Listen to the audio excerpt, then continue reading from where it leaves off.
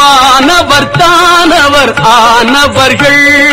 சிந்திப்பவர் நற்றிசை முகர் நாரணர் சிந்தையுள்ளே. பந்திப்பவர் அழியா பரமானந்தர். பாரில் உன்னை சந்திப்பவர்க்கு எளிதா எம்பிராட்டினின் தன்னழியே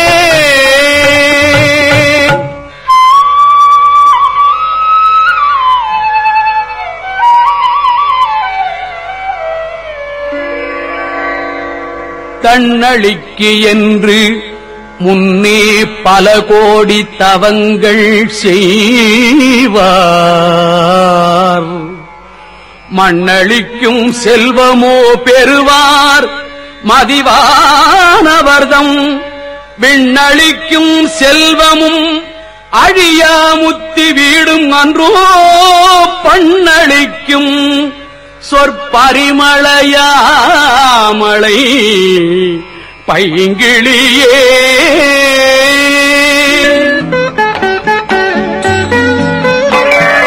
கிளியே கிளைஞர் மனத்தே கிடந்து கிளர்ந்தொளிரும் ஒளியே. ஒளிரும் ஒளிக்கிடமே எண்ணில் ஒன்றுமில்லா வெளியே. வெளிமுதற் பூதங்களாகி விரிந்த அம்மே அழியேன் அறிவு அளவிற்களவானது அதிசயமே. அதிசயமான வடிவுடையாள் அரவிந்தமெல்லாம். துதிசயவானன. சுந்தரவல்லி துணையிறதி பதிசயமானது அவசயமாகமும் பார்த்தவர் தம் மதிசயமாக அன்றோ இது அது, பாமபாகத்தை வவ்வியதே வவ்விய பாகத்து இறைவரும் நீயும் மகிழ்ந்திருக்கும்.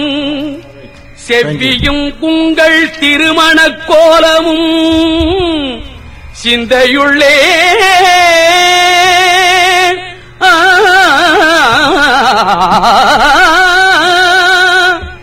அவ்வியம் தீர்த்து என்னை ஆண்ட பொற்பாதமும் ஆகி வந்து வெவ்விய காலன் என் மேல் வரும்போது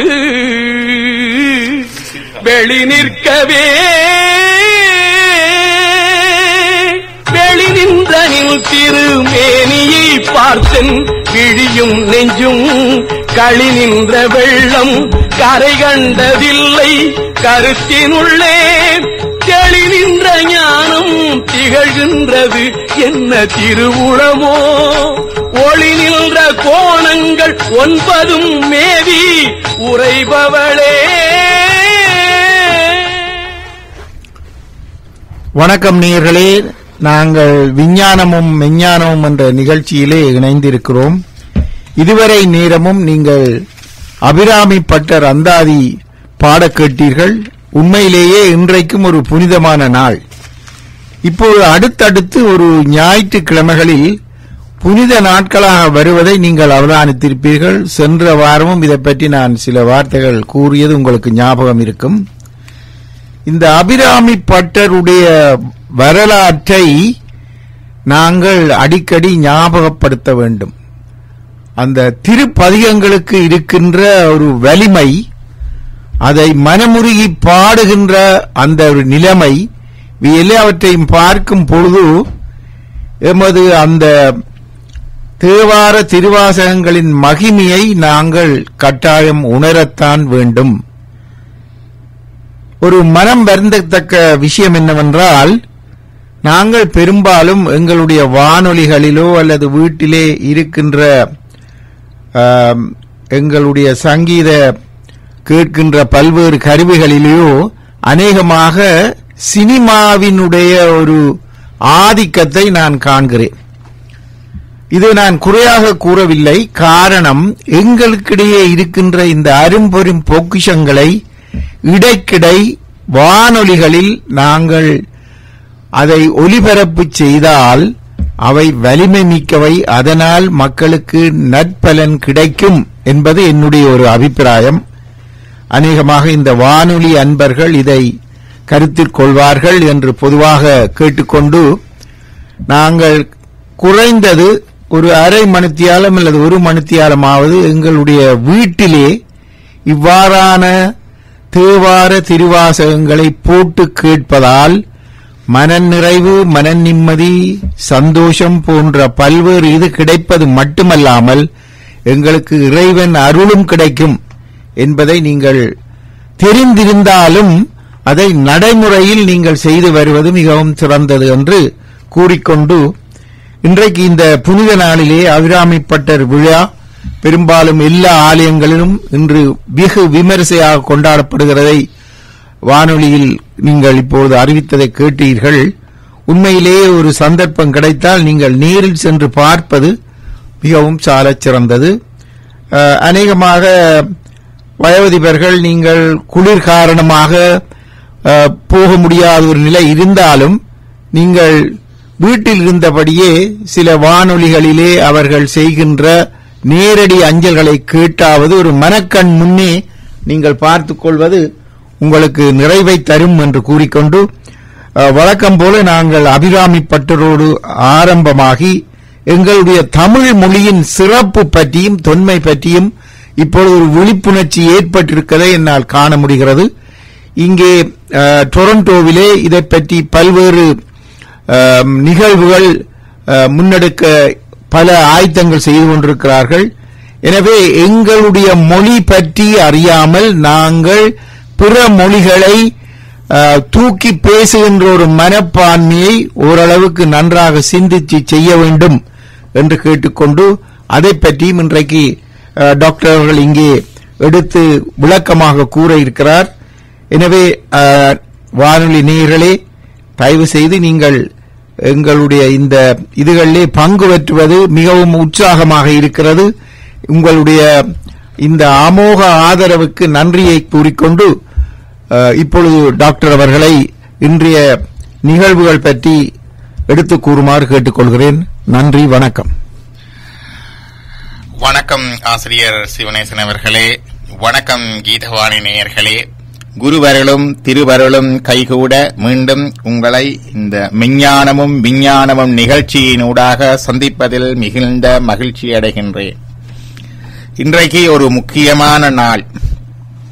தை பிறந்து விட்டது. தைப்பொங்கல் கொண்டாடி மகிழ்ந்திருக்கின்றோம். அத்தோடு இந்த மாதம் முழுவதையுமே தமிழ் பண்பாட்டு மாதமாக தமிழ் ஹெரிட்டேஜ் மந்தாக கனடாவிலே இருக்கின்ற நகர சபைகள் பிரகடன பிரகடனப்படுத்தி இருக்கின்றன. டொரண்டோ மார்க்கம் மற்றது பிக்கரிங். போன்ற மாநகர சபைகள் இதை பிரகடனப்படுத்தி இருக்கின்றன. இது பலருக்கு உலகளாவிய ரீதியிலே ஒரு உற்சாகத்தையும் புத்துணர்வையும் புத்தூக்கத்தையும் தந்திருக்கின்றது.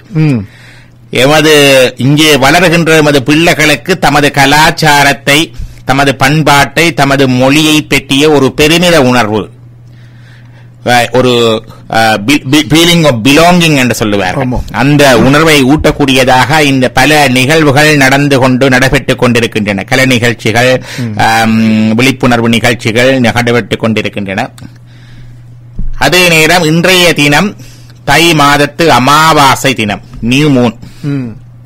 வானத்திலே நிலவு இல்லாத நாள் அமாவாசை. இந்த தை மாத அமாவாசை ஒரு ஒன்று அமாவாசைக்கு ஒரு விசேஷம் உண்டு. பதினாலாம் நூற்றாண்டிலே தஞ்சையிலே சரபோஜி மகாராஜா ஷபோஜி என்று சொல்லுவார்கள். சரபோஜி மகாராஜா ஆட்சி செய்து கொண்டிருந்த காலம்.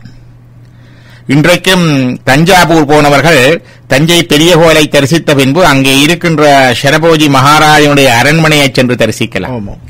அவர் பாவித்த ஆடை ஆபரணங்கள் ஆயுதங்கள் அத்தோடு அவர் வாசித்தறிந்த நூல்கள் அவர் குறிப்பெடுத்து வைத்திருக்கின்ற நூல்கள். அந்த காலத்திலே காகிதம் வந்து விட்டது ம், ம். பேனா வந்து விட்டது அந்த பேனாவினாலே காகிதத்திலே பல அறிவியல் குறிப்புகள் தாவரங்களை பற்றி பூக்களை பற்றி எல்லாம் நிறைய குறிப்புகள் தன்னுடைய கைப்பட எழுதி வைத்திருக்கின்றார் அந்த குறிப்பெடுத்த புஸ்தகங்கள் எல்லாம் அங்கே இருக்கின்றன. அந்த மாளிகையிலே காட்சிக்கு வைக்கப்பட்டிருக்கின்றன.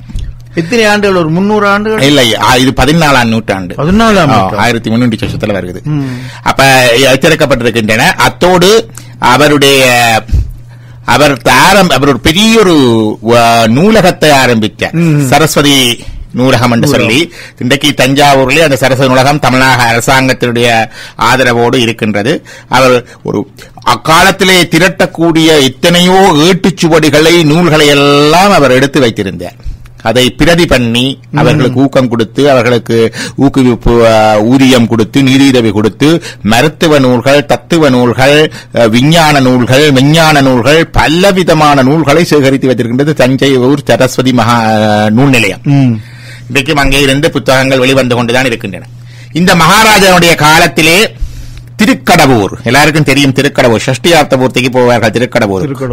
திருக்கடவூரிலே பல யுகங்களுக்கு முன்னர் மார்க்கண்டேயருக்கு சிவன் காட்சி தந்து பதினாறு வயது பையன் அவருடைய ஆயுள் முடிய போகின்றது என்றவுடன் அவர் சிவபூஜை செய்ய ஆரம்பித்து சிவபூஜை செய்து கொண்டிருந்த பொழுது யமன் வருகின்றார் அந்த யமனை சங்காரம் செய்கின்றதற்காக சிவன் வந்து மார்க்கண்டேயருக்காக அங்கே வந்து சிவனை காலால் உதைத்தது. காலனை காலால் உதைத்த தலம் திருக்கடவுர் அப்ப அங்கே மரணத்தை வெல்லுகின்ற தலம் என்று சொல்லுவார்கள் மிருஜுஞ்சய ஸ்தலம்.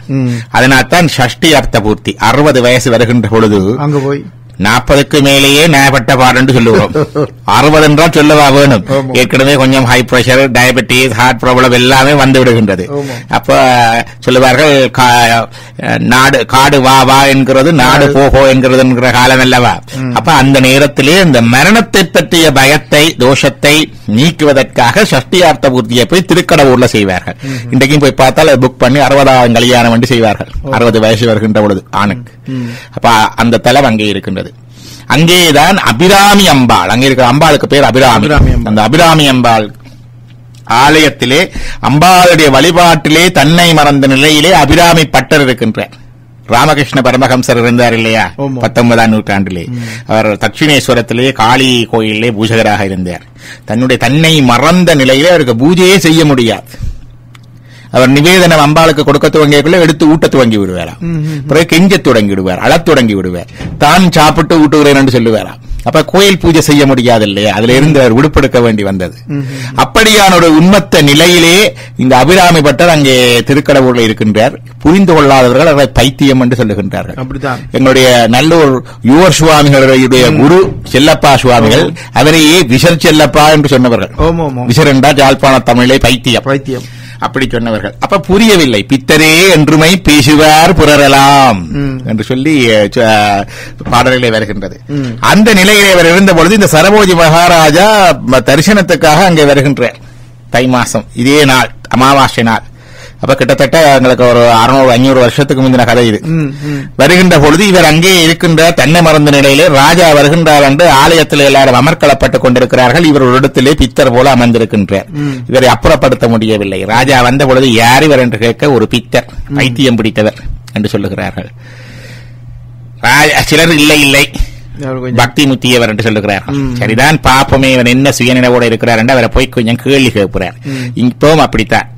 யாராவது நினைவு மறந்த நிலையிலே ஹாஸ்பிட்டலுக்கு வந்தால் மென்டல் ஸ்டேட் எக்ஸாமினேஷன் ஒன்று இருக்கு மெடிக்கல்ல. அவருடைய டைம் பிளேஸ் பர்சனுடைய ஓரியன்டேஷன் பார்ப்போம். அவர் என்ன நாள்ல என்ன நாள் என்ன நேரம் அவருக்கு தெரியுதா? இன்றைக்கு என்ன திகதி என்ன நாள் என்ன நேரம் அவருக்கு தெரியுதா? Orientation of time. பிளேஸ் இந்த டாக்டர் ஆஃபீஸர் இருக்கிறேன் ஹாஸ்பிட்டல்ல இருக்கிறேன் வீட்டுல இருக்கிறேன்னு தெரியுதா. பர்சன் இது யாரோட கதைக்கிறார் அதுன்றது தெரியுதா? இந்த மூன்று ஓரியன்டேஷன் செக் பண்ணி பார்க்கிறது. இது ஆல்டர்ட் லெவல் ஆஃப் கான்சியஸ்னு ஒரு டெஸ்ட். இப்பவும் நடக்கிறது எல்லாருக்கும் அப்ப அத்தோடு இந்த ஆல்கஹால் வர்ற ஆட்கள் எல்லாருக்கும் இது செய்வார்கள். நினைவு இருக்கிறதா? அந்த இருக்கிறார்கள். அந்த டெஸ்ட் ராஜா செய்கிறார். படித்தவர் இல்லையா. இங்க சரஸ்வதி மகால் லைப்ரரியில இத்தனை மருத்துவ புத்தகங்கள் எல்லாம் இருந்திருக்கின்றது. வந்து கேட்கிறார் ஐயரே பட்டரே. பட்டர் என்றால் ஐயர். ராமி பட்டர். பட் என்று சொல்லி சில பேருக்கு பேருக்கு பின்னால் இருக்கும் இல்லையா அந்த பட். அது பட் வந்து பட்டர். அப்ப பட்டரே இன்றைக்கு என்ன திதி? திதி என்பது தேதி. இப்ப தேதி என்று தானே ஆமாம், டேட். அதுதான் திதி. லூனா ஃபேஸ் எத்தனையாவது இன்னைக்கு என்ன நாளோ அப்ப எங்களுக்கு சந்திரன் இன்றைக்கு அமாவாசையில இருந்து பருவம் வரும் வரைக்கும் பதினஞ்சு நாள் வரும். பதினஞ்சு திதி வரும் அதுல. அப்ப இன்றைக்கு என்ன திதி என்று கேட்கிறேன். பொதுவாக பஞ்சாங்கம் என்று சொல்லுவார்கள். பஞ்சாங்கம் என்ற ஐந்து அங்கங்களுடையது. பிராமணர்களுக்கு ஐயர்மாருக்கு அது தெரிந்திருக்க வேணும் நிச்சயமாக இன்றைக்கு என்ன திதி. இன்றைக்கு என்ன வாரம்? இன்றைக்கு என்ன நட்சத்திரம்? இன்றைக்கு என்ன யூகம்? என்ன கரணம்? என்ன நேரம் தொடங்கி என்ன நேரம் என்னென்ன முடியுது? இது தெரிஞ்சிருக்க வேணும் அது நிச்சயமாக தெரிஞ்சிருக்க வேண்டும். ஆனா பலர் இன்றைக்கு அதை அலட்சியமாக இருந்து விடுகிறார்கள். பூஜை செய்கிற பொழுதே சுலபமாக சுபஜோகே சுபதினே சுபஜோ என்று சொல்லுகின்ற தன்மை இருக்கின்றது. ஆனால் அதுல முக்கியமாக அதை கவனிக்க வேண்டும். இன்ன தினம் இன்ன வாரம் இன்ன திதி இன்ன நட்சத்திரம் இன்ன யோகம் என்று சொல்லக்கூடிய அந்த இதை பாரம்பரியத்தை விடப்படாது. அப்ப அவர் இதை தேதிதான் கேட்கிறார். இன்றைக்கு என்ன நாளுன்ட்டு இவர் தான் கண்ணை மூடிக்கொண்டிருக்கிறார். எல்லாம் ஒளிமயமாக இருக்கின்றது.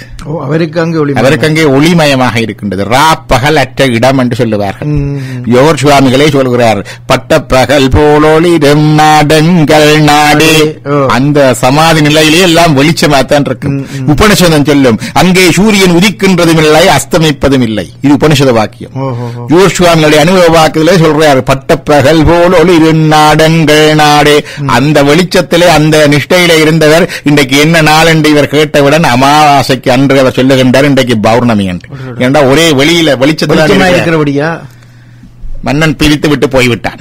அவர் நிஷ்டை கலைந்தவுடன் சொல்லுவார்கள் அவர் தியானத்தில் இருந்தார் யோகத்தில் இருந்தார். அவர் இருந்தது நிஷ்டை. நிஷ்டை என்றால் என்ன என்றால் the disconnecting from the thirty six தத்துவாஸ் என்று சொல்றது. இறைவனங்களுக்கு இந்த உடம்பு மனம் புத்தி புத்தியால் எல்லாம் ஆராய்ஞ்சு தான் பாக்குறோம் இன்னைக்கு புத்தியை வச்சுதான் நாங்கள் இந்த வேலையில கதைக்கிறோம்.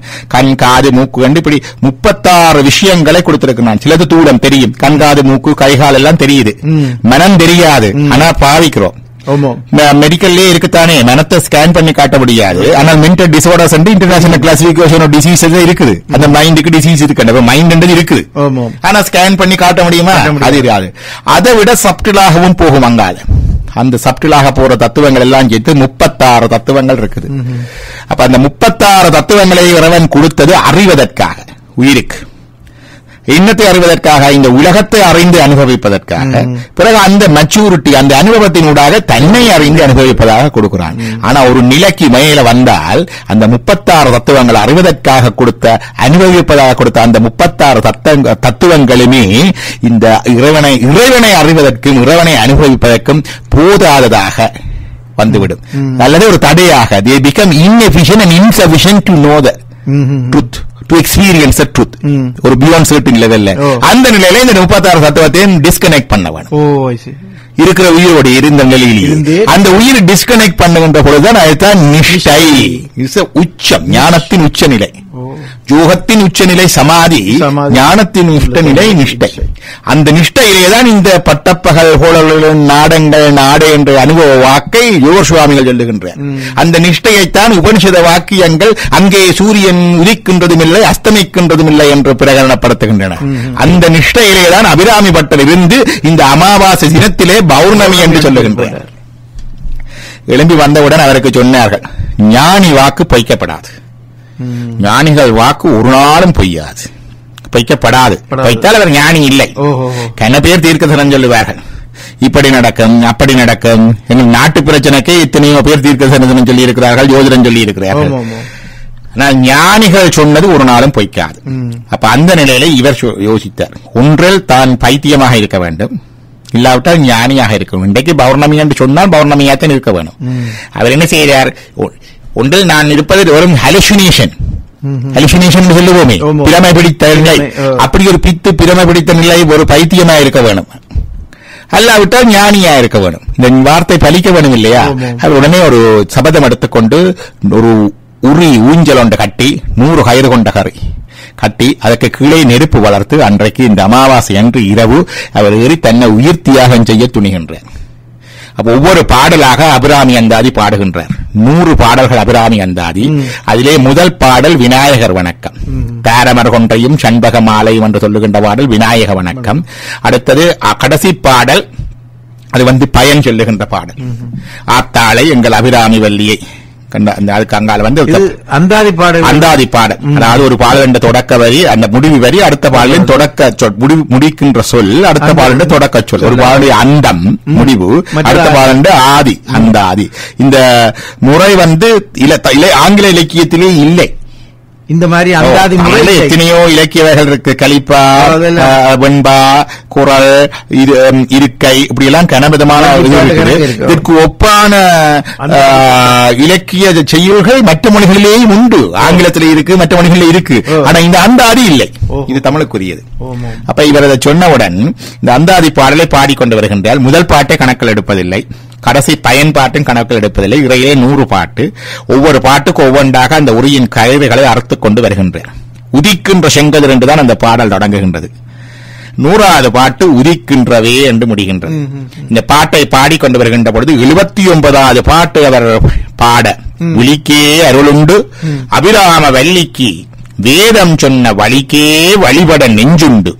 எமக்கு அவ்வழி கிடக்க பலிக்கே சுழன்று உன் பாவங்களே செய்து பால் நரக குளிக்கே அழுந்தும் கயவர் தம்மோடு என்ன கூட்டினியே? என்று சொல்லி அந்த பாடல் பாடல் எழுபத்தொன்பதாவது பாட்டு. உன்னுடைய வெளியிலே அருள் உண்டு. உன்னை கடை தேற்றுவதற்கு வேதம் சொன்ன வழிவர வழி- வழிபாடுவதற்கு வேதம் சொன்ன வழிவரகள் உண்டு. அதெல்லாம் இருக்கு. அதையெல்லாம் விட்டுட்டு இப்படி எல்லாம் பழிச் செயல்களையும் பாவச் செயல்களையும் ஈடுபட்டிருக்கிற இந்த கயனைத்தனமான இந்த மக்களுடன் கூடி கூடி போவதிலே என்ன என்ன கூட்டு இனி அவையோடு என்ன சம்பந்தம் எனக்கு என்று கேட்கின்ற இந்த பாடல் படி படித்தவுடன் வானத்திலே முழு நிலவு எழுந்தது. அமாவாசை அன்று. இது நடந்தது. வரலாற்று சம்பவம். வானத்திலே முழு நிலவு எழுந்தது. மன்னர் உட்பட மற்றவர்களுக்கும் தெரிந்தது. இவருக்கு மட்டும்தான் அந்த விடமை இல்லை. எல்லாருக்கும். எல்லாருக்கும் தெரிந்தது. அந்த அந்த மன்னன் அதை அறிந்து அதற்கு பிறகு இவருக்கு மரியாதை செய்து இவருக்கு தானங்கள் பூமி தானம் செய்திருக்கின்றான். அந்த நிலம் இன்றைக்கு அவருடைய வம்சாவளியினர் அன்றைக்கு இருக்கிறார்கள் அபிராமி கோயில்ல. இன்றைக்கும் இருக்கிறார்கள் அவர்கள் அனுபவித்துக் கொண்டு வருகின்றார்கள் அபிராமியுடைய வம்சாவளி இருக்கிறது. இது வரலாற்று உண்மை. இதான் அந்த தை அமாவாசை தினத்தினுடைய முக்கியமான ஒரு- வரலாற்று இது. அபிராமி அந்தாதி பாடல்கள் மிகவும் சக்தி வாய்ந்த பாடல்கள். சக்தியினுடைய பாடல்களே சக்திதான். சக்தி வாய்ந்தவை. அதிலே அபிராமி அந்தாதியினுடைய பாடல்கள் ஒவ்வொன்றும் மந்திர சக்தி வாய்ந்தவை. சௌந்தரலேகரி பூர ஒவ்வொரு பாடலுக்குமே அந்த சக்தி உண்டு. அப்ப அதுல ஏதாவது ஒரு பாடலோ அல்லது பல பாடல்களோ அல்லது முழுமையாகவோ பாராயணம் செய்து வந்தால் விளக்கேற்றி ம். விளக்கிலே விளக்கை விளக்கை எல்லாரும் அந்த எண்ணெய் பிசு வச்சு வச்சிருக்கப்படாது. வீட்டுல விளக்கு விளக்கி ஏத்த வேணும். விளக்கி போட்டு ஏத்த விளக்கி போட்டு ஏத்த வேணும். நெய் விட்டு ஏத்த வேணும். தலைவரிடம் எங்க வீட்டுல நெய் எல்லாம் ஏத்தித்தான் வைக்கிறோம். ஆமா, ஆமா. நெய் இட்டு ஏத்தலாம். சில இந்த குளிருக்கு கட்டியாத்தான் இருக்கும். ஆனா அதுல போட்டு ஏத்த உருகி கொண்டு வரும். வரும். அதை நெய் விட்டு பஞ்சு திரி போட்டு ஏற்றி இந்த தீபம் வந்து கிழக்கு முகமாக அல்லது வடக்கு முகமாக இருக்கக்கூடியதாக வைத்து அந்த அம்பாளுக்கு அந்த நாங்கள் ஒரு பாலோ பழமோ பாயாசம் அவளுக்கு பிரியம் பாயாசம். உண்டா சவ்வரிசி பாயாசம் இல்லை அரிசி பாயாசம் பருப்பு பாயாசம். அப்படித்தான் வரும் சவ்வரிசி பிற்காலத்திலே வந்தது சேகு. அப்ப அம்பாளுடைய ஒரு பெயர் பாயாசன்ன பிரியாயை நமக.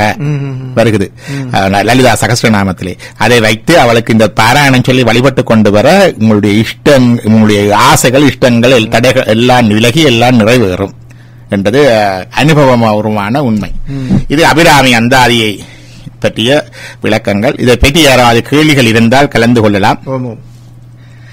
அடுத்ததாக இந்த மாசம் வந்து எங்களுக்கு Tamil heritage month Tamil heritage month. சென்ற முறை தைப்பொங்கல் வருஷப்பிறப்பை பற்றி எல்லாம் சொல்லி இருந்தோம். இன்றைக்கு அந்த தமிழை பற்றி சொல்லுவேன்.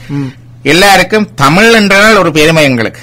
தமிழன் என்பதிலே ஒரு பெருமை ஆனால் ஏன் இந்த தமிழுக்கு பெருமை என்று தெரியாமல் இருக்கின்றது ஓ அதோட டாக்டர் இன்னொன்று மிகவும் எனக்கு கொஞ்சம் கவலைக்குரிய விஷயம் தமிழன் என்று சொல்லிக்கொண்டு நாங்கள் தமிழ் படிக்காமல் எங்களுடைய வருங்கால சந்தாதி இருக்கிறது என்ற ஒரு கவலை உண்மை. இருக்குது அது அந்த கலாச்சாரம் முதல் தெரிய வேண்டும். அதாவது தமிழை சொல்லிக் கொடுக்கின்ற பொழுது சமயத்தை சொல்லிக் கொடுக்கின்ற பொழுது ஏதோ பிசிக்ஸ் இங்கிலீஷ் பிரெஞ்சு சொல்லிக் கொடுக்கிற மாதிரி சொல்லிக் கொடுக்கறது இல்லை. It is not not acquiring an addition expertise in an additional language or subject no hmm it is just imbibing Mm. the importance and richness of our culture and find meaning in our culture Mm, அதான் முக்கியம். and make ourselves comfortable with our culture. Mm. அதுதான் அந்த எய்மா இருக்க வேணும். எங்கள் சும்மா வாய்ப்பாட்டாக நூறு திருக்குறள் பாடமாக்கி பத்து தேவாரம் பாடமாக்கி நூறு அபிராமி அந்தாது பாடமாக்கி கிளிப்பிள்ள போட மேடைகளில் ஏறி இறங்கி ஒப்பிப்பதில் ஒரு பிரயோஜனமும் இல்லை. டேப் ரெக்கார்டரை என்னை செய்து போடும். இது இந்த மனசுக்குள்ள ஒரு பாடல் என்றாலும் பாடமாக்காட்டிலும் பரவாயில்ல. இந்த கருத்தை உள்வாங்கி அந்த கருத்தை தனக்கு ஆக்கி கொண்டால். தனக்கு தெரிந்த பாஷையிலே தனக்கு தெரிந்த மொழியிலே தனக்கு விளங்குகிற முறையிலே அதை ஆக்கி கொண்டால் அதே நேரம் ஆக்கினதை தனக்கு தெரிந்த மொழியிலே தனக்கு தெரிந்த விதத்திலே அதை விட்டவர்களுக்கு விளக்கவும் கூடியதா இருந்தால் எங்களுடைய தமிழர் கலாச்சாரம் நிலை பெறும். இது தனி ஆனாவண்ணா படிப்பதனால நிலை பெறுவது அல்ல. அப்ப இந்த தமிழை பற்றிய இந்த இதுகள் வர்ற நேரத்தில் சில பேர்கள்ல பெரும்பாலும் எல்லாரும் ஒரு கோஷமாக சில பேர் சொல்லுவார்கள். தமிழ் ஒரு பெரிய greatest language oldest language in the world Tamil culture is very supreme culture இப்படி எல்லாம் பல அஹ், மின்னஞ்சல்கள் வந்து கொண்டே இருக்கின்றன இந்த நேரத்தில். இது எல்லாம் சும்மா ஏன் என்று சொல்ல வேண்டும்? சிலதுகள் தவறான தவறுகள் கூட வருகின்றன. அதுவும் அந்த இளைஞர்களுக்கு இந்த தவறான தவறுகளை கொடுத்தால் uh, Oh. hypocritic people. Oh, yeah. என்று யோசிச்சிருவார்கள் அந்த இல்ல, கல்ச்சர்லயே இருந்துவார்கள். அதன் கிட்ட ஒரு இமெயில் வந்திருந்தது. உங்களுக்கு வந்திருக்கும் நினைக்கிறேன். அதாவது Tamil is the only spoken classical language only அதாவது இந்த செம்மொழிகளிலேயே தமிழ் தான் இன்றைக்கு மக்களால பேசப்படுகிற மொழி என்று. அது தப்பான கருத்து. செம்மொழி என்றால் என்ன? என்று பார்க்கணும். What is a classical language என்றால் it should be more than thousand years ஓல்டா இருக்க வேணும். ஆயிரம் வருஷத்துக்கு மேற்பட்டதா இருக்க வேணும். அடுத்தது should be should be able to function independently of மற்ற- அதர் லாங்குவேஜஸ். மற்ற மொழிகள்ல சார்ந்திருக்காமல் தனியாக இயங்கக்கூடியதா இருக்க வேணும். அடுத்தது should have an own literacy tradition independent of other languages அந்த மொழிக்கண்டு தனிப்பட்ட இலக்கியங்கள் இலக்கிய மரபு இலக்கிய சான்றுகள் இருக்க வேணும். இந்த மூன்றும் இருந்தா தான் செம்மொழி உதாரணம் ஒன்று சொல்லுகின்றேன். ஜப்பானிய பாஷை இருக்கின்றது. சீன பாஷை இருக்கின்றது. சீன பாஷையும் இன்றைக்கும் பேசப்பட்டுக் கொண்டிருக்கின்ற ஒரு செம்மொழி. ஆயிரம் வருடங்களுக்கு மேற்கால பழமை வாய்ந்தது. ஜப்பானிய பாஷையும் ஆயிரம் வருஷங்களுக்கு மேற்பட்ட பழமை வாய்ந்தது. ஜப்பானிய பாஷை தனித்துவமாக இயங்குகின்றது. ஆனாலும் ஜப்பானுக்கு செம்மொழி அந்தஸ்து இல்லை. சீன மொழிக்கு உண்டு. ஏன்? அதுக்கு ஒரு வரலாற்று பாரம்பரியம். அவர்களுக்கு சொந்தமான இலக்கியங்கள் எதுவும் இல்லை. அவர்களுக்கு ஜப்பானிய மொழியில இலக்கியங்கள் இருக்கின்றன. எல்லா இலக்கியங்களுமே சீன மொழியில் இருந்து கடன் வாங்கப்பட்ட இலக்கியங்கள். தி Chinese language. Oh, yeah. அப்ப தமிழுக்கு செம்மொழி அந்தஸ்து வேணும் என்று கேட்டால் அது ஆயிரம் வருடம் இல்ல ரெண்டாயிரம் சொல்ல போனேன். பழமை பத்தாயிரம் வருடத்தில் போகும். அது பழமை இருக்கின்றது தனிப்பு இயங்குகின்றது தமிழுக்கு தனித்துவமான இலக்கிய மரபு இருக்கின்றது. தமிழுக்கு செம்மொழி கிடைத்தது கம்ப ராமாயணத்தால் அல்ல. ஏனென்றால் கம்ப ராமாயணம் வடமொழியிலிருந்து வந்தது. தமிழுக்கு செம்மொழி கிடைத்ததுக்கு காரணம் அதனுடைய சங்க இலக்கியங்கள். முக்கியம். அதனுடைய சங்க இலக்கியங்கள் சிலப்பதிகாரம். சீவக சிந்தாமணி தேவக இதுகள் தான் தமிழுக்கு செம்மொழி கிடைத்ததுக்கு காரணம். செம்மொழியினுடைய நுட்பத்தை விட ஏன் தமிழுக்கு கிடைத்தது? என்பதை விளங்கிக் கொள்ள வேண்டும். அதே மாதிரியாக இப்ப வேற மொழிகளை எடுத்துக்கொண்டால் இப்ப அவர் சொன்னது சரி பல செம்மொழிகள் இன்றைக்கு வழக்கில இல்ல. இப்ப கிரீக் இருக்கிறது. கிரீக் ஒரு செம்மொழி. ஆனால் வழக்கில இருக்குது. ஆனா ஒரு சிறுபான்மை மக்கள் இப்ப திருப்பி ரிவைவ் பண்ணி கொண்டு வருகின்றன வருகின்றன. அது ஒரு சிறுபான்மை மக்கள் தான் இருக்கு. ஆனா கிரீக் சொற்கள் பெரும்பாலும் ஆங்கில மொழிகள் எல்லாத்திலேயும் ஆண்மை எடுத்து ஆளப்படுகின்றன. பாவிக்கப்படுகின்றன அவங்களுடைய மெடிக்கல் வேர்ட்ஸ்லயே வரும். பிலோசபிக்கல் வேர்ட்லயும் அதுக்கு அடுத்தது ம். லத்தீன் இன்றைக்கு பேசப்படுற மொழியே அல்ல அல்ல. அல்ல, ஒரு- ஒரு மக்கள் கூட்டம் பேசின மொழி இல்ல. அது முந்தி ரோமன்ல பேசினது. இப்ப இல்லை. ஆனால் ஒரு காலத்திலே அந்த திருச்சபைகளிலே அவருடைய ஆராதனை லத்தீன் மொழி தான் நடைபெற்றுக் கொண்டு வந்தது. எனக்கு நான் சிறுபிள்ளைகளா இருக்கும் பொழுது அவருடைய தேவாலயங்கள்ல லத்தீன் மொழி தான் ஆராதனை. ஆராதனை. ஓ நான் கேட்டிருக்கேன். கேட்டிருக்கிறீர்கள். அப்படித்தான் இருந்தது. அப்ப லத்தீன் இரண்டாவது. அடுத்தது மூன்றாவதாக ஹீப்ரு. ஹீப்ரு என்பது இவர்களுடைய யூத மக்கள். ஜூத மக்களுடைய மொழி. இயேசு கிறிஸ்துநாதருடைய பேசின மொழியும் அது. அதுக்குள்ள. இந்த பைபிள் மொழிபெயர்ப்புல பாத்தீங்கன்னா தெரியும். இது கிரேக்க மொழிய பாஷையிலிருந்தும் ஹீப்ரு எபிரேய பாஷையிலிருந்தும் மொழிபெயர்க்கப்பட்டது தமிழ்ல சொல்லுகிறார்கள் அந்த பாஷை. ம். அதுக்கும் இன்றைக்கு வழக்கில இல்ல. ஓமோ வழக்கில இல்ல. அடுத்ததாக இருக்கிற பாஷை எடுத்து பார்த்தோம் என்றால் சமஸ்கிருதம் சமஸ்கிருதம் ஒரு செம்மொழி. ஆனால் அது எக்காலத்திலுமே எந்த ஒரு மக்கட்கூட்டினத்தினால பேசப்பட்ட மொழி அல்ல. It's not belong to an particular ethnic group or region that was a common language it is Sanskrit meaning கருத்து சம்ஸ்கிருதம் என்றால் பண்படுத்தப்பட்ட மொழி. இது உருவாக்கப்பட்டது. கம்ப்யூட்டர் லாங்குவேஜ் மாதிரி. ஓ இதுக்கென்று உருவாக்கப்பட்டது. Formed that language for literary purposes. Easy to tra- record the information, easy to memorize the information, easy to transmit the information. அனுபவத்துல பார்த்தால் பிள்ளைகளுக்கு படிப்பிக்கிறோம் தானே. தமிழ் பிள்ளைகள் தான். வடமொழி சுலோகத்தை சொல்லிக் கொடுத்தால் உடனே பிடிச்சிடுவார்கள். தேவாரம் புடிய பாடமாக்குறதுக்கு அதை விட நாலு மடங்கு முயற்சி வேணும். அந்த சவுண்ட் அண்ட் போனிக்ஸ் அந்த எல்லாம் அதுக்கு ரிதம் ரிதம் எல்லாம் ஈஸியாக இருக்கு. அதனால ரிமெம்பர் பண்ணக்கூடிய ரிமூவ் பண்ணக்கூடியதா இருக்குது. அது அனுபவம் உண்மை. அதை புரிஞ்சு கொள்ள வேண்டும் வடமொழி என்ன சில பேருக்கு பிடிக்காது. ஆனா உள்ளதை உள்ளபடி தானே சொல்ல வேண்டும். ஓ வக்ரதுண்டமா என்னுடைய வகுப்பிலே வக்ர ஒரு நாளும் சொன்னாலும் வக்ரதுண்டமாக உடனே சொல்லுவாங்க. பிடியது நொறுக்கமா சொல்வதற்கு க- நாள் எடுக்கும். செல்லும். தானே சர்வ மாங்கல மாங்கல்யே உடனே சொல்லுவாங்க. தனந்தரன் கல்விதரன் சொல்லிக் கொடுத்தாலும் திருப்பி திருப்பி சொல்லிக் கொடுக்கணும். அந்த டிஃபிகல்ட்டி ஒன்று இருக்கிறது. அப்ப அது மொழிக்கு குறை அல்ல அது என்ன? பர்பஸ். சொல்லுகின்றோம் அது. அது இவ்வளவும் வந்து வழக்கொழிந்த மொழிகளாக இருக்க இன்றைக்கும் பேசப்படுற மொழிகளாக முன் சொன்ன மாதிரி சீன மொழி இருக்குது. அரேபிய பாஷையும் ஒரு செம்மொழி. ஆனால் பிந்தியது செம்மொழிகள்லயே வெளி பிற்பாட பிற்பாட. காலத்தில் உருவானது அரேபிய மொழி. அது அது ஒரு செம்மொழி. சீன பாஷையில செம்மொழி இருக்கின்றது. அவருடைய எழுத்து வடிவங்கள் சித்திர வடிவ எழுத்துக்கள் ரொம்ப. கஷ்டமான எழுத்து வடிவம். ஆயிரக்கணக்கான எழுத்துக்கள் இருக்கின்றன. ரெண்டு. மூன்றாவது சீன மொழி ஒரு கட்டுப்பாடு என்று கேட்டால். It is difficult to express the emotions in Chinese language இந்த எமோஷனல் எக்ஸ்பிரஷன்ல அங்க ஒரு பிளாக் இருக்கு. அந்த அளவுக்கு அது- வெளிப்படுத்த அது முடியாது. அது படம் மாதிரி கொஞ்சம் அந்த மொழியில அந்த பேச்சு வழக்கில கூட. அத எமோஷன் எக்ஸ்பிரஷன் வந்து கடினம். சீன மொழியில. அப்ப அவர்கள் என்னன்ற தங்களுடைய செய்கிறார்கள் கடினம். ஜப்பான்லயும் இருந்திருக்க சில சொற்களுக்கு எல்லாம் இல்லை அந்த எமோஷன்ஸுக்கு. ஈவன் இங்கிலீஷ் வேர்ட்லயே எங்களுக்கு இருக்கிற கன எமோஷன்ஸ் இல்லை. நாங்க வந்து சொல்ல ஆய்வுக்குழு இங்கேயும் இருக்கின்றது அங்கே யாழ்ப்பாணத்துல நாங்கள் சாந்திகம் என்ற சைக்காலஜிக்கல் சென்டருக்கு இப்படி சொல்ல ஆய்வுக்குழு சில எமோஷன்ஸுக்கு சொல்லி இல்லை ஈக்குவலண்ட் ஆங்கில வேர்ட் எல்லாம் லவ் தானே அன்பென்றாலும் லவ் தான் பாசல் என்றாலும் லவ் தான் காதல் என்றாலும் லவ் தான் காமம் என்றாலும் லவ் தான் பாருங்க எவ்வளவு வித்தியாசம் இருக்கிறது எவ்வளவு வித்தியாசம் இருக்கு. பக்திக்கும் லவ் தான் பக்திக்கும் லவ் தான் விலங்கு தானே அப்ப எல்லாத்துக்கும் வித்தியாசம் அது இருக்கு அதே மாதிரியாக. என்னோட அந்த கதை எனக்கு இப்போ ஞாபகம் இருக்குது தாபம் விரகதாபம். அந்த விரகதாபத்துக்கு ஒரு ஈக்குவலண்ட் இங்கிலீஷ் வேர்டு இல்ல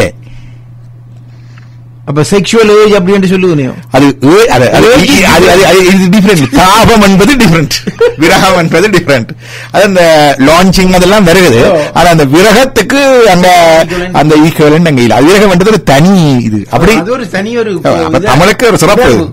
ஒரு உணர்வு. உணர்வு. அப்ப இந்த மாதிரியாக உண்மையில இந்த தமிழ் மொழியினுடைய ஆழமான கருத்துக்கள்ல பூந்து பார்த்தால்தான் ஏன் தமிழ் மொழி சிறப்பானது என்று விளங்க.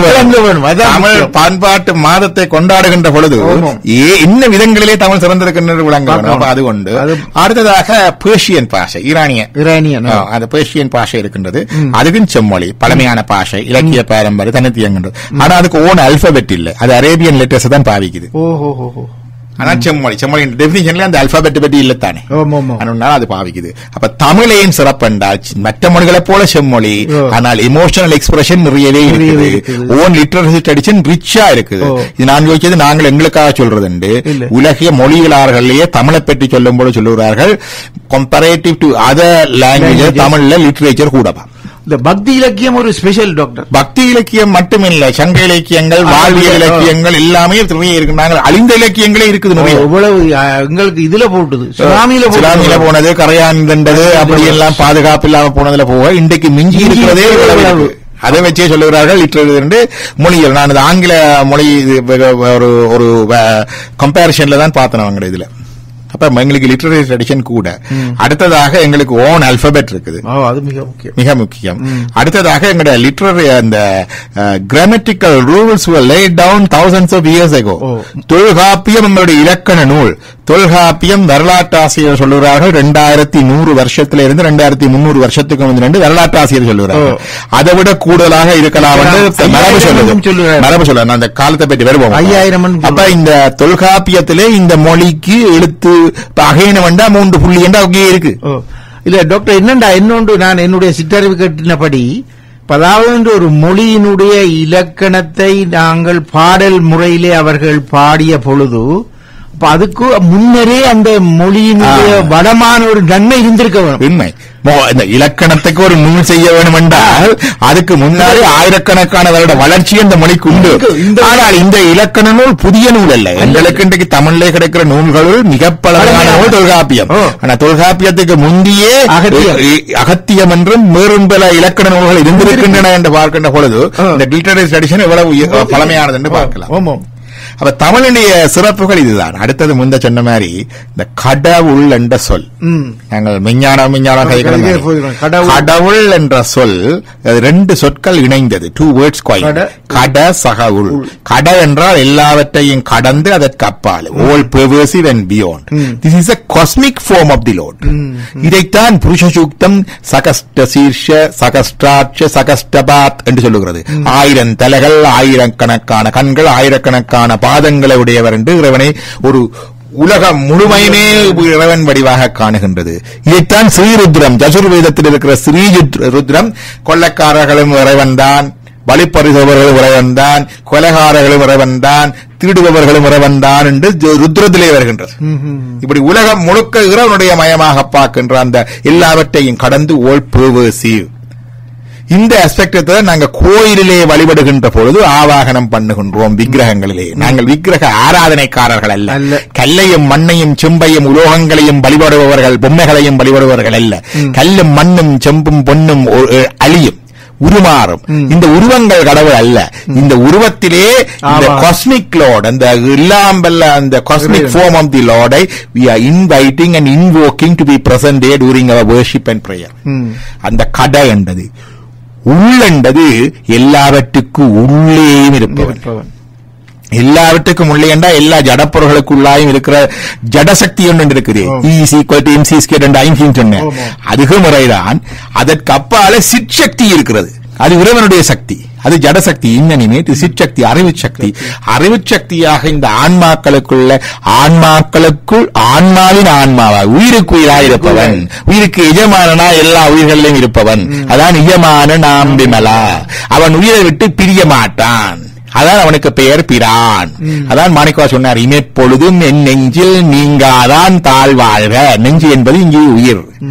உள்ளம் உள்ளுக்கிருப்பது உள்ளம். என் உள்ளங்கவர்கள் அங்கேயும் அந்த உள்ளம் என்பது ஆத்மா. சித்தம் என்பதும் ஆத்மா. சித்தமெல்லாம் அறிவித்து சிவமாக்கி இணையாண்ட ரத்தன் அப்ப இந்த உள்ளுக்குள்ளே இருக்கிற அந்த கடவுள் வந்து எல்லாத்துக்கும் உள்ளுக்கு இருக்கின்றார். அப்ப அங்கேயும் இருக்கின்றார் இங்கேயும் இருக்கின்றார். இந்த கடவுள் என்ற சொல்லுக்கு இந்த உள்ளுக்கு இருக்கிற கடவுளைத்தான் நாங்க வீட்டு பூசையிலே ஆவாகனம் பண்ணுகின்றோம்.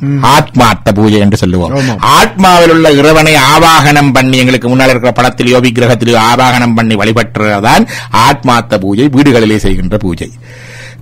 தேவார திருவாசகங்கள் திருமறை பாடும் பொழுது திருச்சிட்டம்பலம் சொல்லி தொடங்குவோம். முதல் சொல்லுகிற திருச்சிட்டம்பலம் காஸ்மிக் லோடுக்கு கடந்திருக்கிற கடவுளுக்கு. திருச்சிட்டம்பலம் சொல்லி முடிப்போம். முடிக்கும் பொழுது பல பேர் முடிக்கிற பொழுது வடிவாக முடிப்பதில்லை. முடிக்கும் பொழுது நம்ம பார்வதிபதியே சொல்லி அழகர மகாதேவா சொல்ல வேண்டும். ஏனென்றால் இதுதான் சைவத்திலே சொல்லப்பட்ட கோஷம்.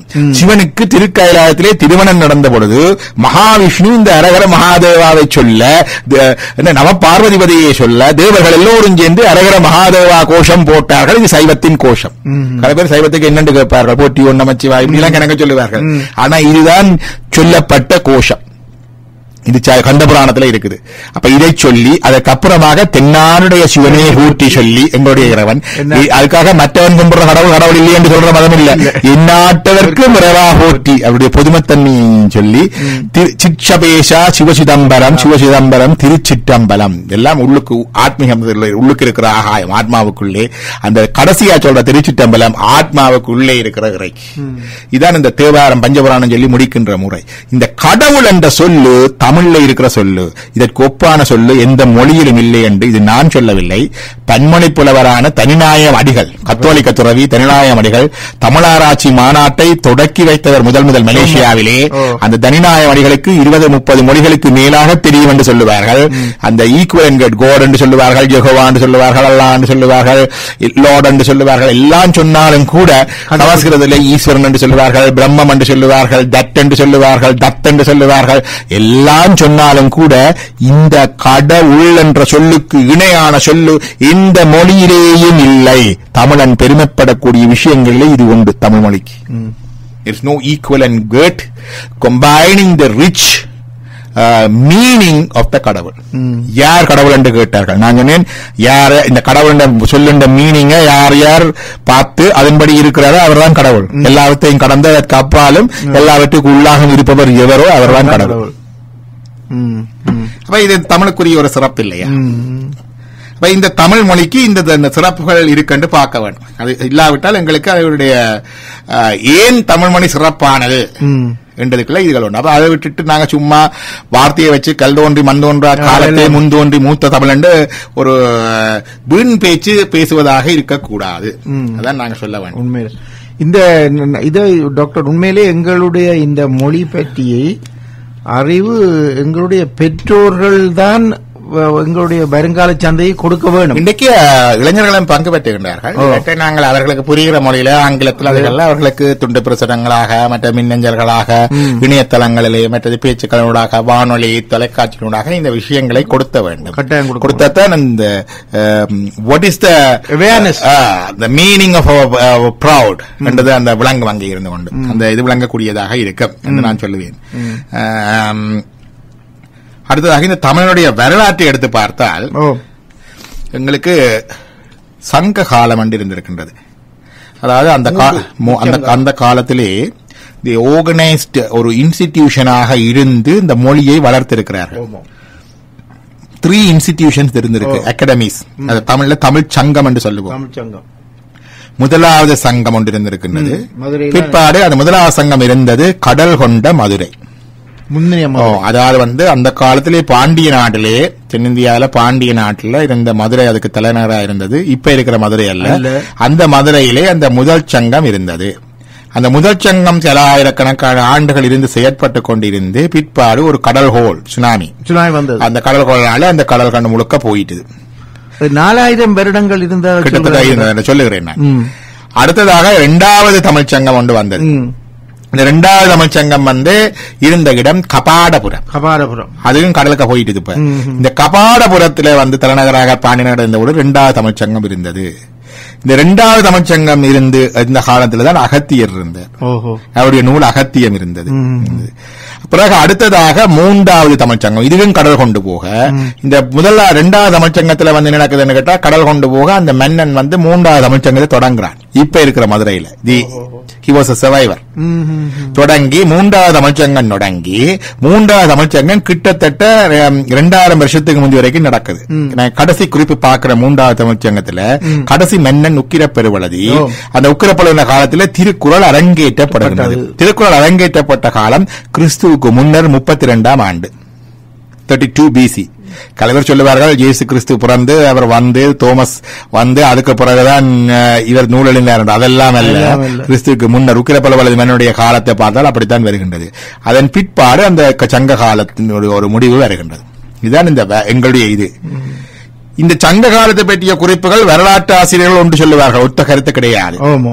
அவர்கள் சில ஆயிரம் வருஷங்களை சொல்லுவார்கள் இந்த சங்க காலத்துக்கு முந்தியேயும் இருந்தது வரலாற்றுக்கு முற்பட்ட காலம் இருந்தது. அந்த காலத்திலேயும் தமிழ் இருக்கின்றது. இதெல்லாம் ஆவணப்படுத்தப்பட்ட காலங்கள் தானே? ஆவணப்படுத்தப்படாத காலம் இருந்தது. அதுக்கு முதல் இப்ப இருக்கிற தமிழ் மொழிக்கு முந்தின தாயா மொழியாக அந்த புரோட்டோ டிராவிடியன் பீரியட் ஒன்று இருந்தது. ஓ. புரோட்டோ அது அது அந்த கண்டங்கள் எல்லாம் பிரிவதற்கு முந்திய காலம். அந்த காலங்கள்ல எல்லாம் ஆஸ்திரேலியாவில் இருக்கிற த- மக்கள் கூட இந்த தமிழ் பாரம்பரியத்துக்குள்ளே இருந்திருக்கிறார்கள். அந்த. அந்த- வளமை இருந்திருக்கின்றது. அப்ப இந்த காலங்கள் எல்லாத்தையும் வந்து எத்தனையோ ஆண்டுகளாக இருந்திருக்கின்றது. ஆஸ்திரேலேஷியா அண்டு ஆஸ்திரேலியா அதுகள் எல்லாவற்றையும் கடந்த காலமாக இருந்திருக்கின்றது இந்த காலம் இதுக்கெல்லாம் ஆதாரம் என்னென்று கேட்பினோம் ம். இப்பெல்லாம் சொன்ன எல்லாரும் சொல்லி போட்டு போயிடலாம் சரி. மேடையில ஏறி இங்க ஏறி சொல்லி போட்டு போயிடலாம். இப்ப டாக்டர். லம்போதரன் வந்து ஒன்று சொல்லி போட்டு போட்டார் அவ்வளவுதான். இதுல என்னென்று கேட்பார்கள்? இப்போ எவிடன்ஸ் பேஸ்ட் அது முக்கியம். மெடிசின் மாதிரி இங்கேயும் இருக்க வேணும். எங்களுக்கு ஒரு நூல் இருக்கின்றது தமிழிலே. அதை சொல்லுவார்கள் இறையனர் அகப்பொருள். இறையனர் அகப்பொருள் என்ற நூல் வந்து இலக்கண நூல்களிலே உண்டு. என்னத்துக்கு இலக்கணம் சொல்லுதுன்றா காதலுக்கு இலக்கணம் சொல்லுது. காதலுக்கு இலக்கணம் சொல்றதுக்கு ஒரு நூல். different types and expressions and interactions of love. Doctor இதுல நான் உண்மையா கேட்கிறேன். இவ்வாறு காதலுக்கு இலக்கணம் சொன்ன மொழி எங்களுடைய மொழி பெருமைப்படுகிறோம். அது மாதிரி வேற எந்த மொழியிலும் இருக்கா? அதுல இன்னொரு பெருமை இருக்குது. இந்த நூலை எழுதினவர் யாருன்னு கேட்டா சிவன். அதான் எங்க விஷயம். இறைவனே காதலுக்கு நூல் எழுதின சமயம் வந்து சைவத்திலே தான் இருக்குது. வேற எங்கேயும் எழுதியிருப்பார்கள் எரித்திருப்பார்கள். என்ன வாழ்கிறார் கண்டு எரிச்சிருப்பார்கள் எரித்திருப்பார்கள். இது எங்களுக்கு அப்படி இல்லை. இறையனாரக பொருள் இறைவனே எடுத்த நூல். இதை சொல்லுவார்கள் முன்னொரு காலத்திலே இந்த மூன்றாம் தமிழ்ச்சங்க காலத்திலே நடக்குது. மூன்றாம் தமிழ்ச்சங்க காலத்திலே அந்த இறையனாரக பொருள் இந்த இறையனாரக பொருள்ல வந்து என்னன்னு கேட்டா அது அந்த நூல் வந்துட்டுது. நூல் வந்து இறைவன் தந்த உடனே அதுக்கு உரை செய்யறதுக்கு பாக்கிடும். பார்த்தா நக்கீரர் தான் அதுக்கு உரை சொன்னவர். அந்த உரை வாய்மொழியாக பல காலம் வழங்கி கொண்டு வருகிறது. அது பிறகு கிறிஸ்துவுக்கு பிறகு கிட்டத்தட்ட அஞ்சூறு அறுநூறாம் வருஷத்துல தான் அது எழுதப்படுகிறது. அது வரைக்கும் வாய்மொழி. அந்த வாய்மொழியா சொன்ன இந்த உரையிலே எல்லாத்தையும் டாக்குமெண்ட் பண்ணி இருக்கணும் பழைய தமிழ்ச்சங்கம். இந்த நூல் வந்த வரலாறு அது வந்த விதம் எல்லாம் டாக்குமெண்ட் பண்ணியிருக்காரு சொல்றாரு வந்து மதுரை கணக்கானார் மகனார் ந- நக்கீரனார் அவர்தான் மதுரை நக்கீரன் தமிழ் புலவர். தம் மகனார் கீரங்கொற்றனார்க்கு உரைத்தார். அவர் தேனூர் கிளார்க்கு உரைத்தார். அவர் படியங்கொற்றனார்க்கு உரைத்தார். இந்த உறவர மரபு. அவர் செல்வத்தாசிரியர் பெருஞ்சுவனார்க்கு உரைத்தார். வாய் வழியாக வருது. அவர் மணலூர் ஆசிரியர் புளியங்காய் பெருஞ்சேந்தனார்க்கு உரைத்தார். பாருங்கள் பேர்களை. புளியங்காய் பெருஞ்சேந்தனாருக்கு வருகிறது. அவர் செல்லூர் ஆசிரியர் ஆண்டை பெருங்குமரனாருக்கு உரைத்தார் அவர் திருக்குன்றத்து ஆசிரியருக்கு உரைத்தார் அவர் மாதளவனார் இளநாகனார்க்கு உரைத்தார் அவர் முசிறி ஆசிரியர் நீலகண்டனார்க்கு உரைத்தார் இங்கனம் வருகின்றது உரை. மரபு பார்த்தீர்களா இதுல பார்த்தால் இப்ப எத்தனையோ ஆண்டுகள் அப்படியே வந்து அதாவது வந்து கிட்டத்தட்ட ஒரு அறுநூறு வருஷம். போயிருக்குது இந்த.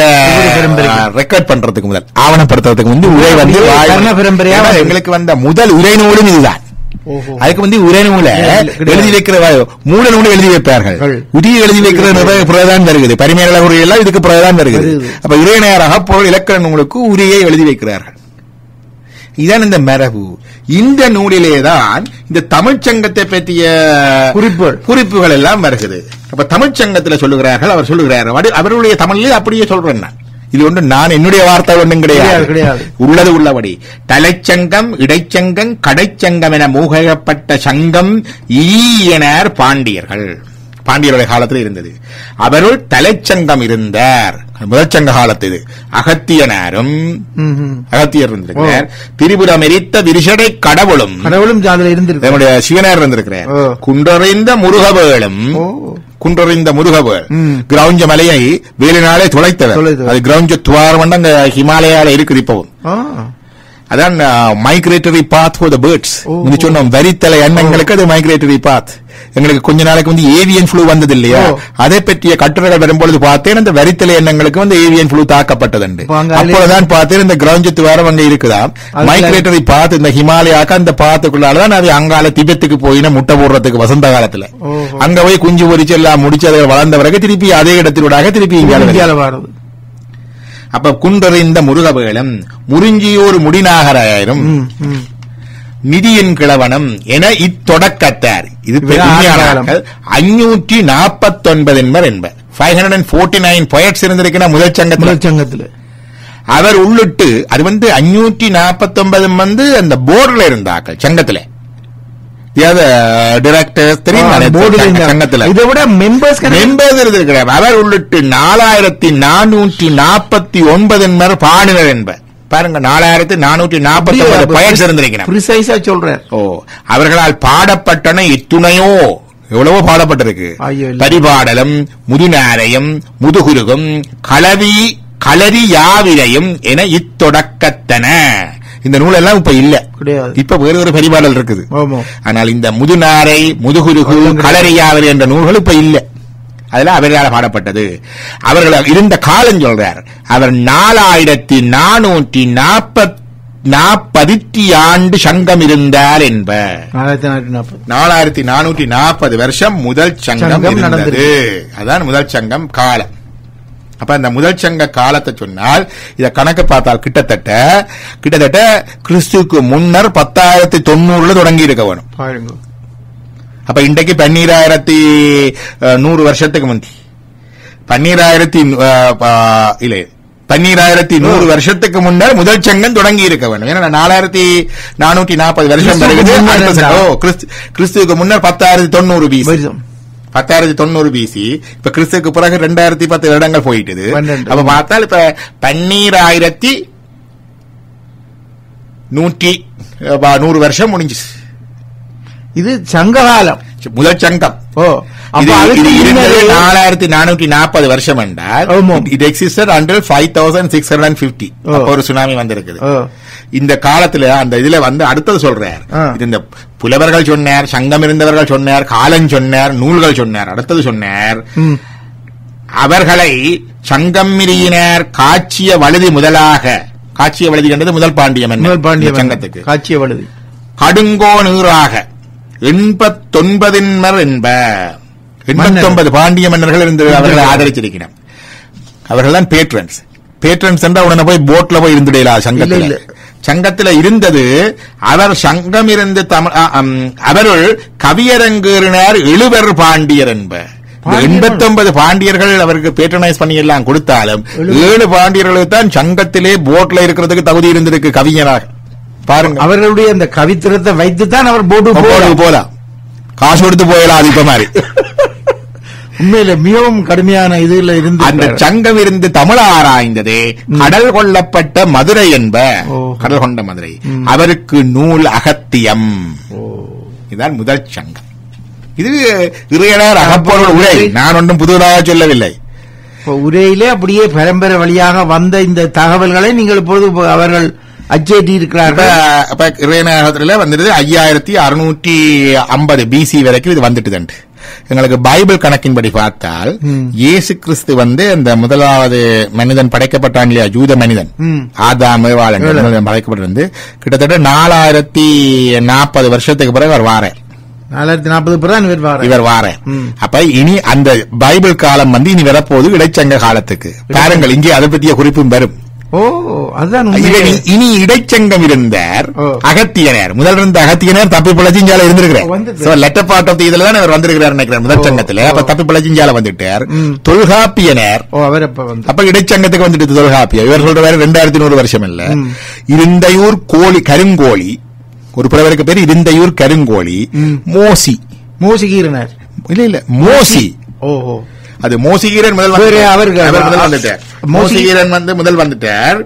இதுல வந்து என்னன்னு கேட்டால் இதுல வந்து இந்த மோசி என்று சொல்லி. மோசி என்றது என்னுடைய மோசே. ஓஹோ இவைகளுடைய பழைய ஏற்பாட்டு காலத்துல இருந்த மோசே. மோசே. காலஞ்சரிவர் தானே இடைச்சங்க காலம் பழைய ஏற்பாட்டு காலம். அப்ப இங்கத்த வந்து இங்கத்த எல்லாம் ஆராய்ஞ்சு கொண்டுதான் அங்க ஆன்மீகம் போயிருக்குது. அப்ப அவரும் அந்த இதுல இருந்திருக்கிறார். அவர் வந்திருக்கிறார். மொழி தெரிஞ்சிருக்குது சங்கத்துக்கு வந்திருக்கிறார்.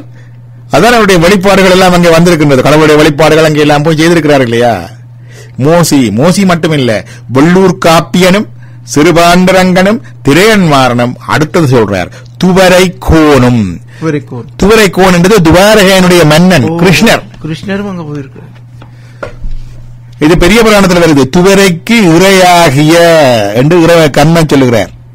அபிமன்யு முனிவர் அவருக்கு தீட்சை வச்சதை சொல்லுகிறார் துவரைக்கு மன்னனாகிய கிருஷ்ணனுடைய முடியின் மேல் அடி வைத்தவன் என்று உபமன்யுடைய சிறப்பு பெரிய புராணத்தில் வருகிறது அப்ப துவரைக்கு கோவன் என்பது கிருஷ்ணர். எப்படி கிருஷ்ணர் இருந்திருப்பார் என்று அவருடைய காலம் இதுக்குதானே வருகிறது. அந்த காலம் அப்படியே கோயின்சைட் கோயின்சைட் பண்ணுது. அது மட்டுமல்ல கிருஷ்ணரை பற்றி சொல்லப்படுகின்ற அந்த பக்தி ரசாமிருத சிந்து என்ற நூலிலே கிருஷ்ணர் பல மொழி வல்லவர். அந்த மொழிகள்ல பதினெட்டு பாஷைகளை அந்தந்த பாஷையினர் எப்படி எப்படி பேசி எப்படி எப்படி எழுதுவார்களோ அதே மாதிரியாக செய்யக்கூடிய ஆற்றல் பெற்றவர் பன்மலை புலவ பெற்றவர் என்று சொல்லி இருக்குது அப்ப அவர் தமிழ்ச்சங்கத்திலே இருந்திருக்கிறார். அடுத்தது கீழண்டையும் என இத்தொடக்கத்தால் ஐம்பத்தொன்பதின்மர் என்ப. அப்ப ஐம்பத்தொன்பது பேர் போட்ல இருந்திருக்கணும். அவர் உள்ளிட்டு மூவாயிரத்து எழுநூற்று பேர் பாடினர் என்ப. மூவாயிரத்து எழுநூறு பேர் பயிற்சி இருந்திருக்கணும். அவர்களால் பாடப்பட்டன என்னென்ன சொல்றார்? கலியும் குருகும் வெண்டாளியும் வியாழமாலை அகவலும் என இத்தொடக்கத்தன என்ப. இந்த நூல்கள்ல ஒன்று ரெண்டு வரிகள் ஆங்காங்கே இருக்குதாம் மேற்கோள்களாக. ஆனா நூல்கள் இல்லை. நூல்கள் இல்ல. அப்ப சொன்னப்பட்ட நூல்கள் கலியும் குருகும் வெண்டாளியும் வியாழமாலை அகவலும் என இத்தொடக்கத்தனை என்ப. இது மாதிரி வேற இருக்குது. அவர்களுக்கு நூல் அகத்தியமும். தொல்காப்பியமும் மாபுராணம். மாபுராணத்தின் சில பகுதிகள் இப்பவும் இருக்குது. இசை நுணுக்கமும் இசை நூல் பூத புராணமும் என இவை என்ப. இந்த இசை நுணுக்க நூல்களை பற்றி எல்லாம் சிலர் பிரதிகாரத்தில் சில குறிப்புகள் வருகிறது நடனம் இசை. அதுகள். அப்ப இந்த நாளத்து நூல்கள். அவர் மூவாயிரத்தி எழுநூற்றி ஆண்டு சங்கம் இருந்தார் என்ப. மூவாயிரத்தி எழுநூறு வருஷங்கள் இருக்கிறார்கள். அப்ப அதுதான் அங்க வந்து வருகிற. ஓ அப்ப இது கிட்டத்தட்ட ஐயாயிரத்தி அஞ்சூற்றி ஐயாயிரத்தி அறுநூற்றி ஐம்பது பிசி இருந்தது இல்லையா? அதுல இருந்து தொடங்கி இஞ்சால வந்து கிட்டத்தட்ட மூவாயிரத்தி எழுநூறு வருஷம் இருந்திருக்குது.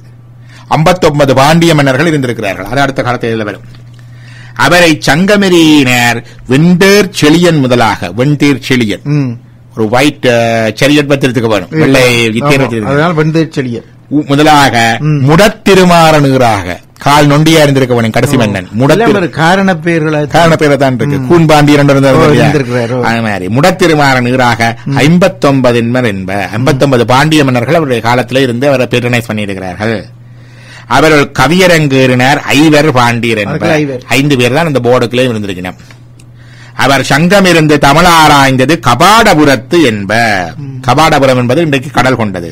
அக்காலத்து போலும் பாண்டிய நாட்டை கடல் கொண்டது. இது இறையனர் அகப்போர்களுடைய அந்த தமிழை அப்படியே வாசிக்கிறேன். நான் மாத்தேல. இப்ப இது வந்து டாக்டர் உண்மையில இதெல்லாம் பரம்பரை பரம்பரை அவர் ஞாபகத்துல வச்சு கொண்டிருக்க வாய் வழியாக சொல்லி சொல்லி சொல்லி டாக்குமெண்ட் ஸ்லோகம் மாதிரி அதை வேணும் சொல்லி சொல்லி சொல்லி. பிறகு அதை எழுது அதை எடுத்து இவர்கள் பதிப்பித்திருக்கிறார்கள். நூலை. இந்த நூல் எப்ப வேண்டியது உங்களுக்கு? இது அந்த எழுத்துரு பெற்றது உரை எழுத்துரு நூல் முதலே வந்துட்டு. நூல் உரை எழுத்துரு பெற்றது கிறிஸ்துவுக்கு பின் அறுநூறாம் ஆண்டுன்னு சொல்லிக்கணும் ஓஹோ உரை எழுத்துரு பெற்றது. எழுத்துரு பெற்றது. அதை வச்சுதான் சில பேர் சொல்றது இது பிற்காலத்துல வந்தது நம்ப இயலாது ஓ. ஆனால் வேலை அக்யூரேட்டாக பெயர்கள் சொல்லுகிறார்கள். நூல்கள் என்ற பெயரை சொல்லினோம் புலவர்கள் என்ற பெயர் சொல்லினோம் மன்னர்கள் என்ற பெயர் முதல் சங்கத்திலிருந்து அகத்தியனை தப்பி பிழைச்சிட்டாருன்னு தெரியுது ரெண்டாவது சங்கத்துல வந்து ஆனால் மன்னன் இல்ல. கடுங்கோன் செத்து போனார். இரண்டாம் மூன்றாம் இந்த ரெண்டாம் சங்கம் தொடங்கிக்க முதல் இருந்த மன்னன் வெந்தீர் செழியன் முதல். சங்கத்தின் கடைசி மன்னன் கடுங்கோன் அவன் இல்ல ஆனா மூன்றாம் சங்கம் இனி வரப்போகுது அதுதான் இப்ப இருக்கிற மதுரை. அங்க இந்த மன்னன் தப்புறான் ஓஹோ. அப்ப கடைச்சங்கம் எப்ப என்று பார்ப்போம் இப்ப கடைச்சங்கம் என்னன்னு பார்த்தால் இது இப்ப இருக்கிற இனி கடைச்சங்கம் இருந்து தமிழாராய்ந்தார் சிறுமேதாவியரும்.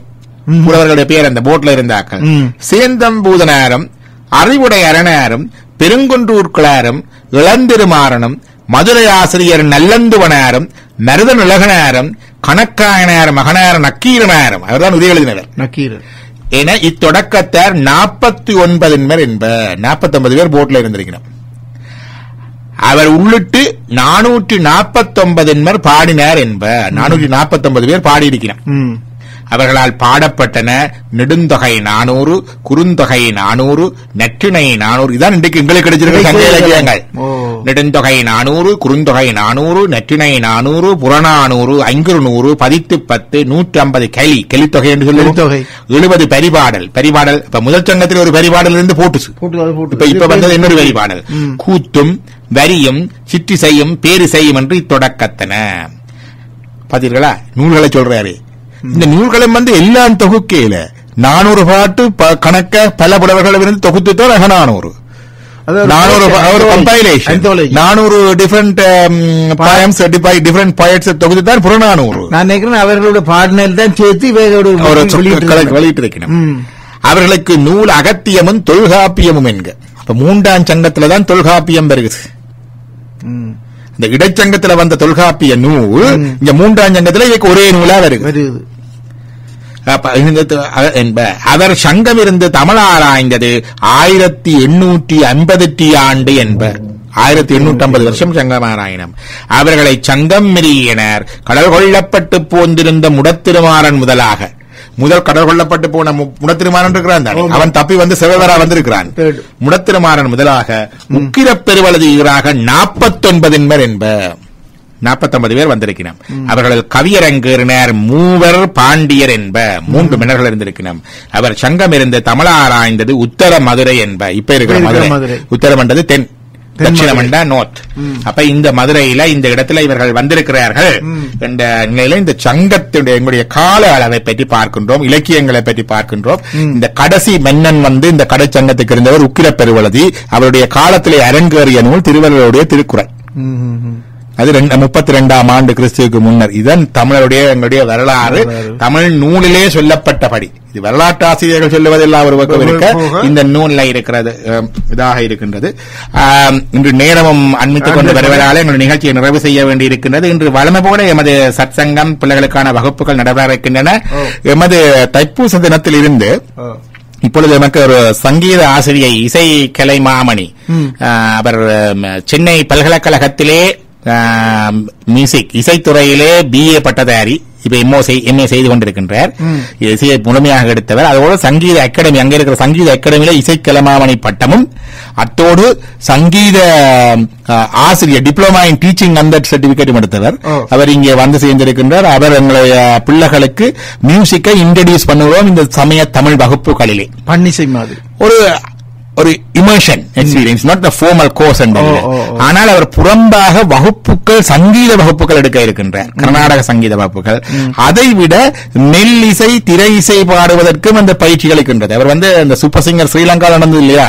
அதுக்கு அவர் சின்ன பிள்ளைகளுக்கு ஒரு கோச் பண்ணி இருக்கிறார் அத்தோடு சிங்க ஸ்ரீலங்கால சக்தி தீவுடைய சூப்பர் சிங்கர்ல வந்து நடுவராகவும் இருந்திருக்கின்றார்.